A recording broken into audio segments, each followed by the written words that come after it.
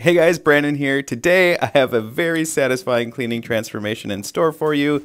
As you can see here, this workbench seat was super dirty, so let's get into it and clean that up.